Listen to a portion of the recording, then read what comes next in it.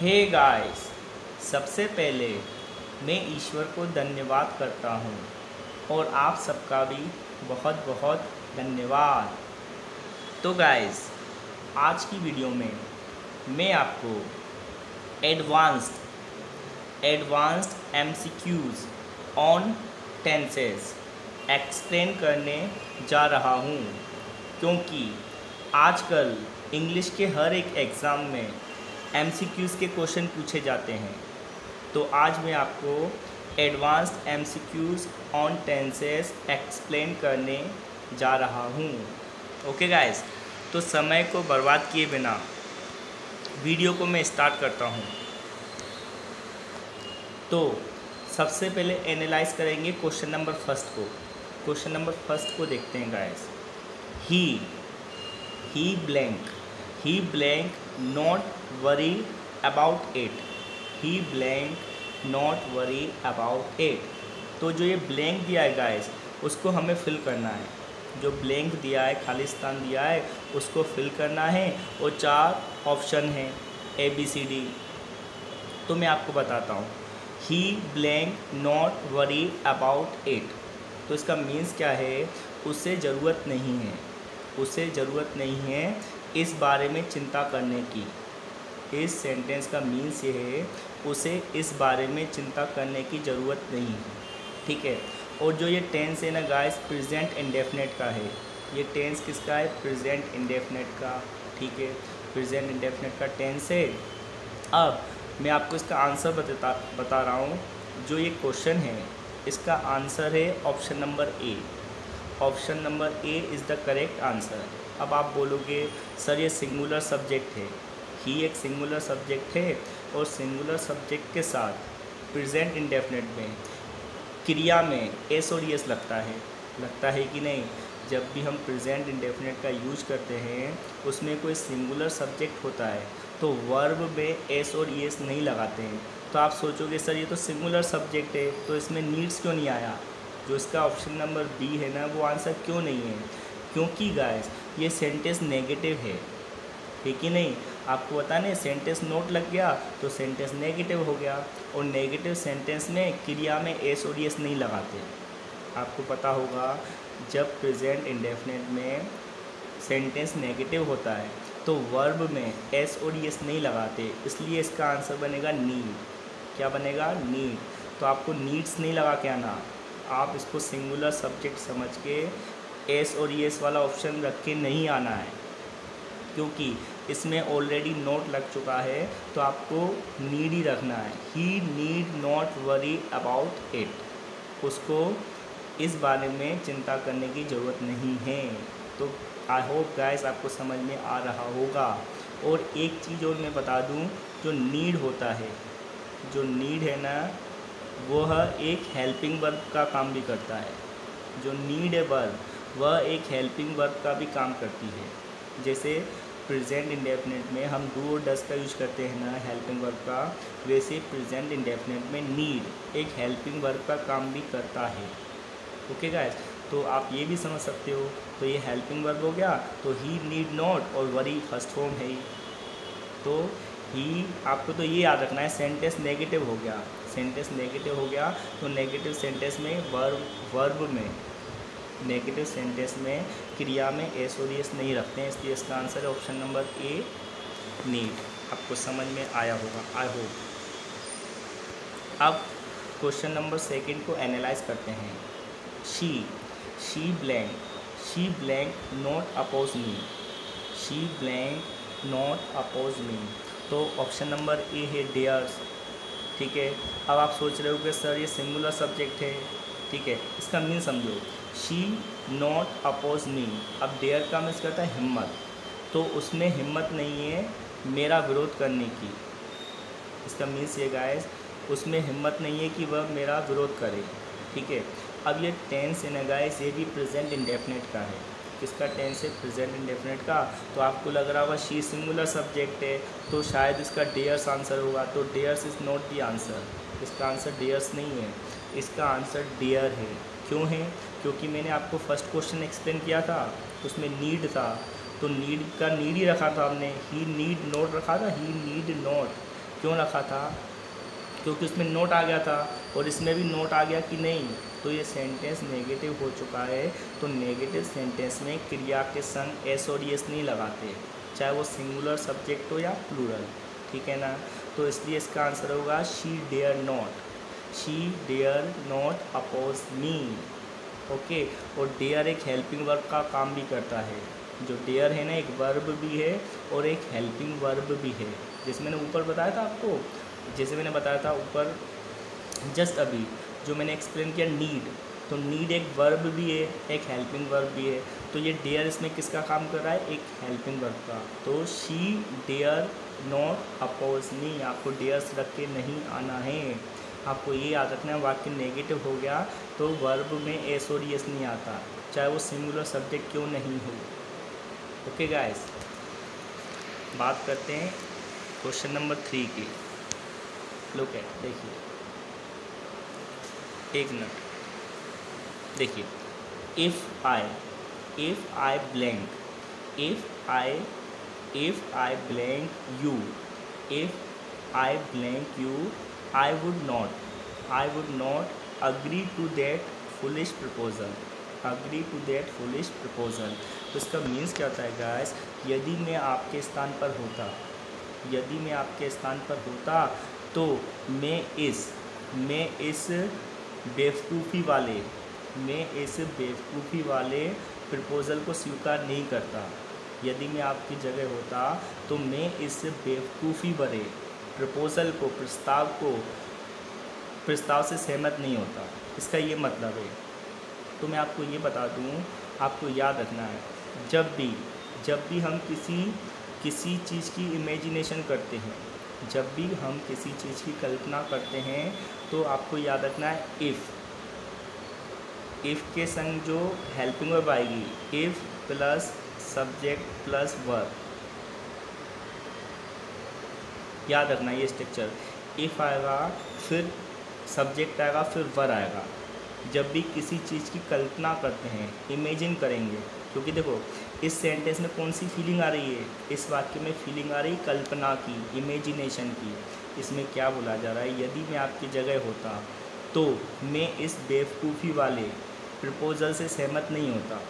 ठीक है? तो हम क्या करें? कल्पना कर रहे हैं। ये रियलिटी नहीं, कल्पना। यदि मैं होता तो नहीं करता। बोलते हैं ना, जैसे यदि मैं एक्टर होता तो मैं वीडियो नहीं बनाता। समझ आनी चाहिए। तो ये कल्पना है, क्या है इमेजिनेशन तो इमेजिनेशन के संग आपको हमेशा वर का यूज़ करना है। जो पहला स्टेटमेंट होगा ना, उसकी साइक्रिया वर होगी, और जो दूसरा स्टेटमेंट बने, बनेगा, उसकी वुड आपको याद रखना है पेयर होता है।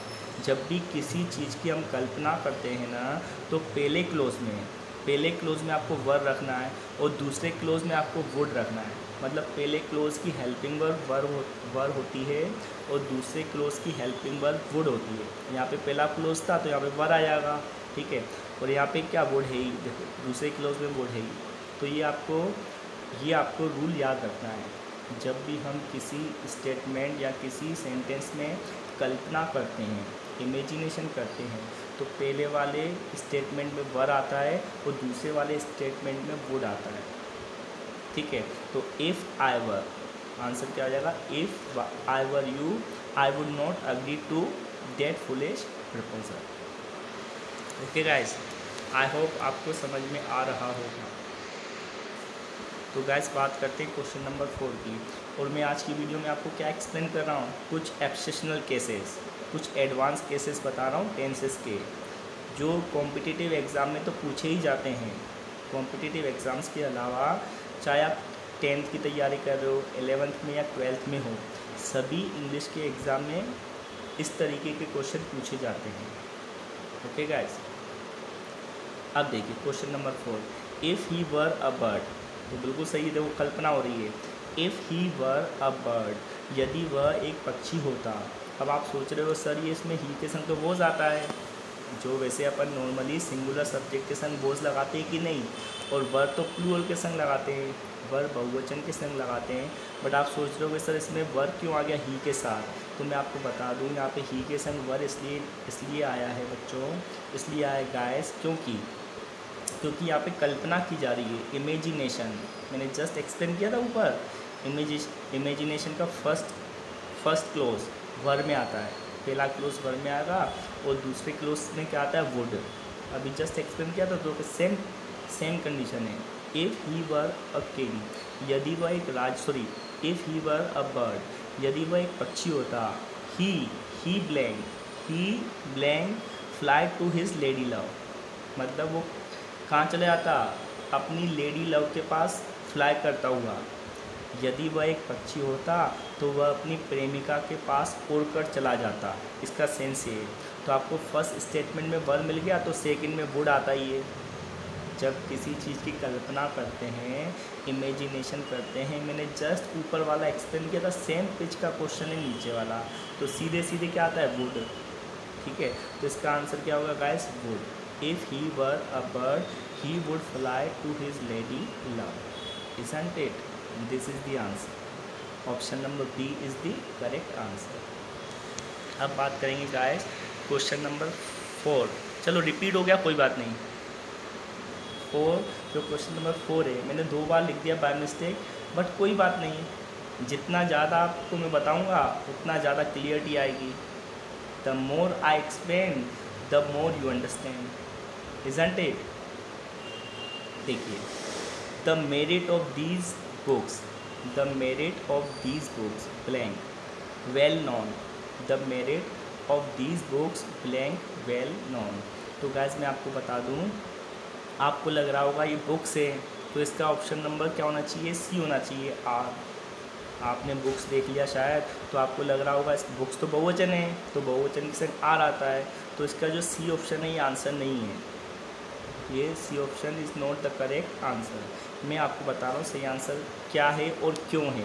दोनों बताऊँगा। देखो the merit of these books जो विशेषता है, जो विशेषता है इन किताबों की, जो विशेषता है इन किताबों की वेल नोन वह जानी पहचानी है।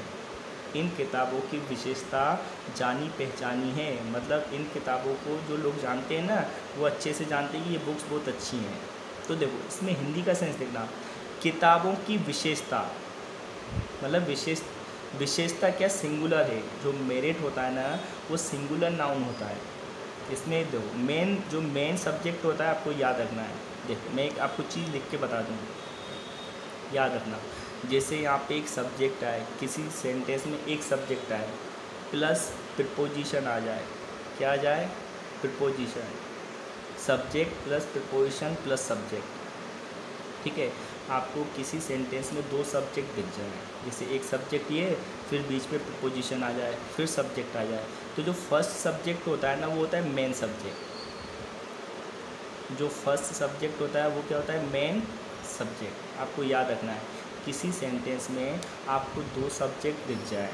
ये देखो, एक सब्जेक्ट द मेरिट है, एक सब्जेक्ट है द मेरिट और दूसरा सब्जेक्ट क्या है? दीज बुक एक सब्जेक्ट है द मेरिट और बीच में प्रपोजिशन है ऑफ़ ऑफ़ एक प्रपोजिशन है कि नहीं, ये प्रपोजिशन आ गई। तो मैंने अभी आपको क्या बताया subject plus preposition plus subject तो मेन सब्जेक्ट किसको कंसिडर करते हैं? फ़र्स्ट वाले को। मेन सब्जेक्ट पहले सब्जेक्ट को मानते हैं तो ये द मेरिट है सिंगुलर सब्जेक्ट है कि नहीं?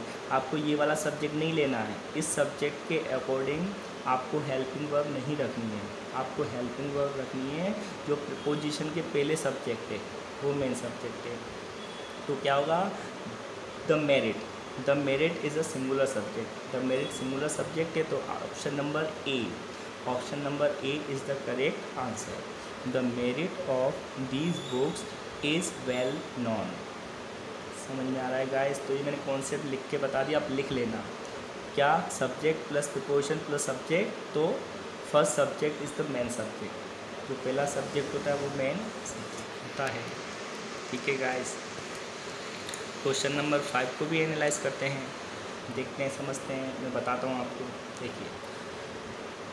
The chairs in the corner the chairs in the corner of this room इसका मीन्स क्या होता है गाइस जो कुर्सियाँ हैं, जो कहाँ पे रखी हुई हैं? कॉर्नर में कमरे के. कुर्सियाँ कुर्सियाँ कमरे के कॉर्नर में रखी हैं. कैसे रखी है? वेल प्लेस्ड अच्छे से रखी हुई हैं. कुर्सियाँ कमरे के कोने में अच्छे से रखी हुई हैं। तो फिर देखो सेम कॉन्सेप्ट है, देखो। द चेयर्स हो गया अपना सब्जेक्ट हो गया। अब एक प्रपोजिशन इन आ गई। इन प्रपोजिशन आ गई, कोई बात नहीं। द कोनर आ गया, फिर आ गया दिस रूम ठीक है? अब इसमें तीन सब्जेक्ट हैं, देखो। द चेयर्स है द कोनर है दिस रूम है। तीन है, कोई बात नहीं। जो पहला सब्जेक्ट होता है, वही मेन सब्जेक्ट होता है। मैंने आपको क्या बताया था? जब कोई एक सब्जेक्ट आ जाए, फिर प्रपोजिशन आ जाए, फिर सब्जेक्ट आ जाए, कोई दिक्कत नहीं है। आपको जो पहला सब्जेक्ट है ना, पहला जो मेन सब्जेक्ट पहला मेन सब्जेक्ट होता है, उसी के अकॉर्डिंग आपको हेल्पिंग वर्ब रखनी है। तो आप इसको रूम मत समझ लेना रूम मेन सब्जेक्ट नहीं है। आप सोचोगे रूम है तो हम इस आंसर लगा के आ जाएँ। तो इस is not the correct answer is सही आंसर नहीं है। आपको इज़ नहीं रखना है। रूम को देख के शायद स्टूडेंट सोचते हैं, बहुत सारे स्टूडेंट सोचते हैं कि सर सब्जेक्ट तो रूम था सिंगुलर था तो हम इज़ लगा के आ गए। बट भैया, इसमें आपने मेन सब्जेक्ट तो देखा नहीं। मेन सब्जेक्ट है द चेयर्स कुर्सियाँ। तो कुर्सियाँ बहुवचन है। तो आंसर होगा ऑप्शन नंबर सी आर क्या होगा? आर क्योंकि रूम की बात नहीं की गई है, कुर्सियों की। कुर्सियाँ जो कोने में रखी गई हैं, इस कमरे में। कुर्सियाँ जो कोने में रखी गई हैं, इस कमरे में, वो अच्छे से रखी गई हैं। समझ में आ रहा है गाइस तो ऐसे क्वेश्चन में स्टूडेंट कंफ्यूज हो जाते हैं। ठीक है क्वेश्चन सिंपल होते हैं बट अगर आपको कॉन्सेप्ट क्लियर नहीं है तो आप रॉन्ग आंसर लिख के आ सकते हो। अब एनालाइज करेंगे क्वेश्चन नंबर सिक्स को गाइस ओके तो गाइस ये कुछ एडवांस रूल हैं, जो मैं आपको बताते भी जा रहा हूँ। टेंसेस पर बेस्ड ये क्वेश्चन आते हैं, ठीक है ना? जो सिंटेक्स होता है ना सिंटेक्स ऑफ़ इंग्लिश या टेंसेस ऑफ़ इंग्लिश ये कुछ एडवांस रूल हैं बस, ठीक है? अब एडवांस रूल क्या? बस समझना है। समझ में आ गया? तो आपको बेसिक रूल भी अच्छे से आएँगे इंटरमीडिएट रूल भी अच्छे से आएँगे और एडवांस रूल भी अच्छे से आएँगे। आएँगे कि नहीं? आएँगे। सब खेल क्या है? अंडरस्टैंडिंग सब खेल है समझने का। तो समझना है बस। Question number six five kilos five kilos of rice five kilos of rice purchase yesterday ठीक है? अब इसको समझना थोड़ा गाइस अब इसमें क्या बोला जा रहा है? जो पाँच किलो चावल, पाँच किलो चावल कल ख़रीदे गए। कल पाँच किलो चावल खरीदे गए। तो मैं आपको ये बता दूँ, जो ये फाइव किलोज है ना गाइस एक सर्टेन क्वान्टिटी है। मतलब एक निश्चित मात्रा है। मैं क्या बोल रहा हूँ? पाँच किलो। मतलब पाँच किलो क्या है? एक निश्चित मात्रा है। तो निश्चित मात्रा सिंगुलर कहलाती है। आपको याद रखना है, कोई सर्टन मतलब सर्टेन क्वांटिटी आ जाए, कोई निश्चित मात्रा आ जाए, अब आपको लग रहा है फाइव किलोज तो फाइव किलोज अलग अलग नहीं है ना वो? फाइव किलोज क्या है? देखो, पाँच किलो चावल तो पाँच किलो चावल एक एक किलो अलग नहीं है, वो संग में ही है। इसमें बोला जा रहा है, कल पाँच किलो चावल खरीदे गए। तो कोई पाँच किलो चावल खरीदेगा। तो एक बार में जैसे एक जो बैग होता है, एक बैग में तो पाँच किलो चावल लेके आएगा। तो ये सिंगुलर सब्जेक्ट है। मैं आपसे ये बोलना चाह रहा हूँ, जो कोई कोई चीज़ मात्रा में होती है, कोई चीज़ क्वांटिटी में होती है ना, चाहे वो फाइव क्लोज हो या टेन क्लोज हो या ट्वेंटी क्लोज हो, आपको आर नहीं लगा के आना। वो सिंगुलर सब्जेक्ट ही कहलाता है। तो इसमें आपको याद रखना है फाइव क्लोज अब आप ऑफ़ के पहले सब्जेक्ट क्लोज देख रहे हो।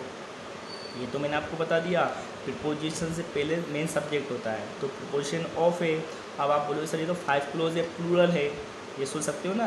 तो आप सोचो, सर, इसका आंसर क्या होगा? वॉस ठीक है? सॉरी वर तो इसका आंसर वर नहीं है, इसका आंसर है वॉस ठीक है? तो मैं ये बोलना चाह रहा हूँ ऑफ़ के पहले तो आपको सब्जेक्ट देखना है।